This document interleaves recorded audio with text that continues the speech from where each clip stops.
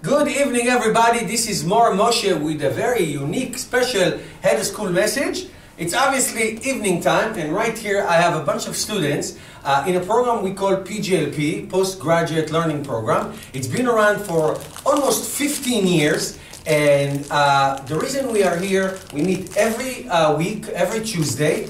Um, we learn politics, we learn current events, we eat, we play, we share thoughts uh, Judaism, ethics, religion. And this program actually uh, was initiated by the students themselves many years ago in a way for them to keep in touch. So I have some uh, ninth graders, some seniors, and I want to share with you a little bit of their experience uh, this year and in years past. So let's start with you, Zach. Go ahead. I really like the debate factor of the PGLP group. Jonah? Um, I love I love learning about the politics of both America and Israel and their relationship. Excellent. Samantha? I've been in this program for years and I really like learning about Israel and keeping in touch with my Judaism. Okay. I've also been in this program for four years, and I enjoy being able to, to connect with the other alumni.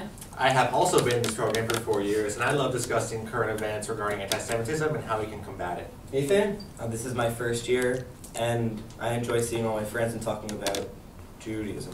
All right. Uh, this is my second year in this program, and I most of all look forward to seeing my old friends from Hebrew school and reconnecting and learning, of course, about Great. Thank you, guys. So it's been a pleasure. We, by the way, we meet 30 sessions a year. This is a very committed group, and we really, really enjoy continuing Jewish education in the high school level. And that's it. So thank you, everybody, for watching. And everybody say thank you. Thank you.